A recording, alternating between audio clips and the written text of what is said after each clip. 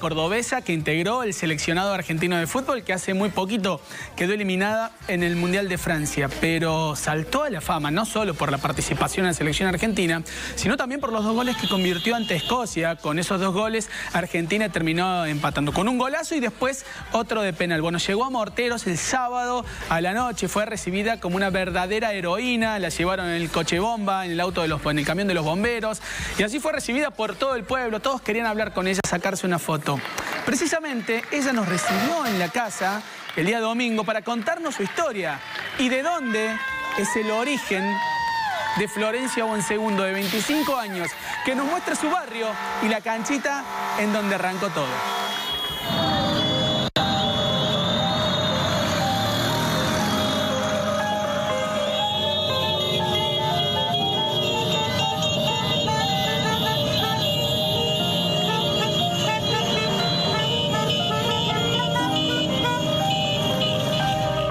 Recibida ayer también en Buenos Aires eh, fue increíble, a las 6 de la mañana, después cuando llego a Córdoba Capital también y bueno, esta noche ni hablar.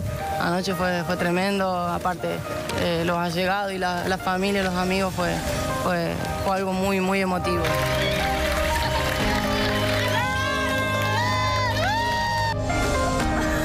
La famosa es ella. ¿Qué tal? ¿Todo bien? Bien, bien, todo bien. Anoche fuimos, pero no. Eh, había mucha gente.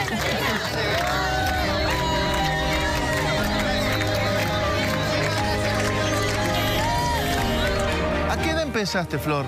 Bueno, yo empecé como a los 5 o 6 años, eh, que tengo uso de razón y, y, bueno, gracias, gracias a mi hermano. Mi hermano mayor es que, que me impulsó. Vos tenías que jugar con los varones porque en ese momento obviamente no había eh, eh, conjunto de mujeres o no? Sí, sí, tal cual. Yo toda mi vida, toda mi niñez la hice con, con niños, era la única en, todo lo, en todos los nenes. Eh, pero bueno, yo creo que, que eso me ha, me ha ayudado muchísimo a, a, a desarrollarme.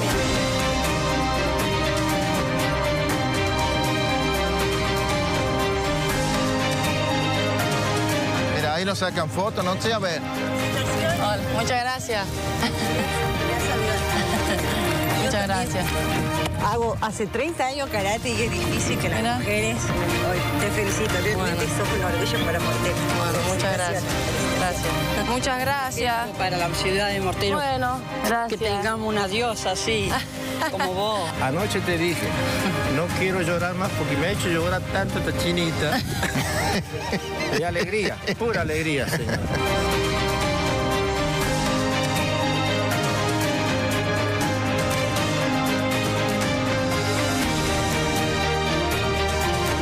Canchita. Esa es la canchita donde venía siempre.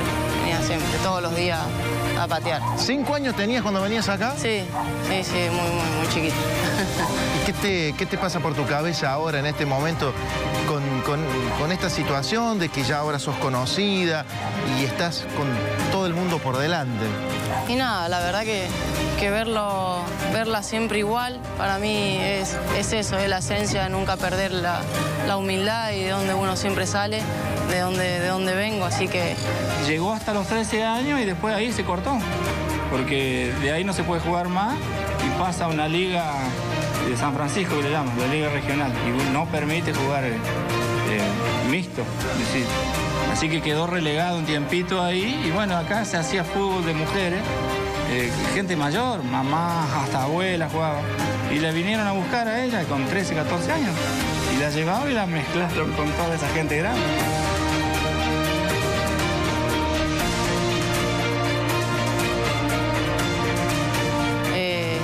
Que de a poquito te vas, te vas dando cuenta lo que, lo, que, genera, lo que genera uno, ¿no?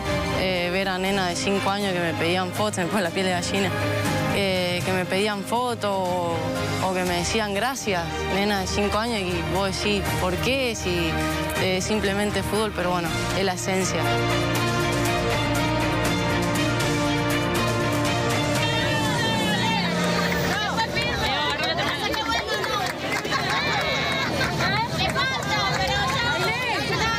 Historia, ¿eh? Y que nunca pierda es la esencia, ¿eh? la esencia del pueblo, esa Seguro. humildad, esa grandeza que tiene, ¿no? Ella juega en Huelva, como nos contaba Manuel, ¿no? En España.